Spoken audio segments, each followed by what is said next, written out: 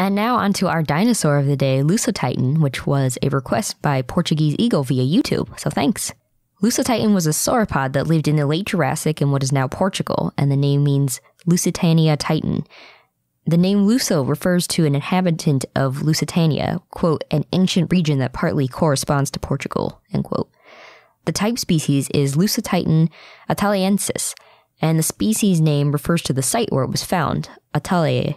Lusotitan was found in the Lourinhã Formation in 1947, Manuel de Matos, who was part of the Geological Survey of Portugal, found large sauropod fossils there. And then in 1957, Albert Felix de Lapparent and George Zbyszewski named those fossils Brachiosaurus atalaiensis.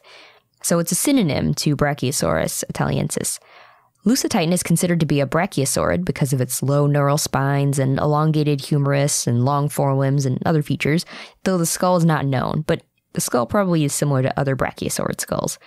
In 2003, Octavio Mateus and Miguel Telles Antunes renamed it as a separate genus, Lusotitan.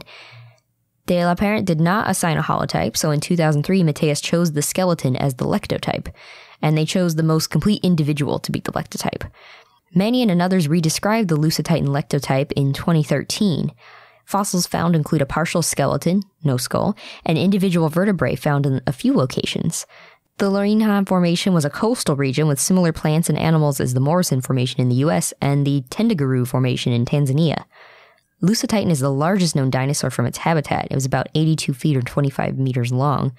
Other dinosaurs that lived in the area include theropods Allosaurus, Ceratosaurus, Lourinhanosaurus, Torvosaurus, the ankylosaur Dracopelta, diplodocid sauropods Supersaurus, Lorinhanasaurus, Zby, and stegosaurs Centrosaurus and Miragaia.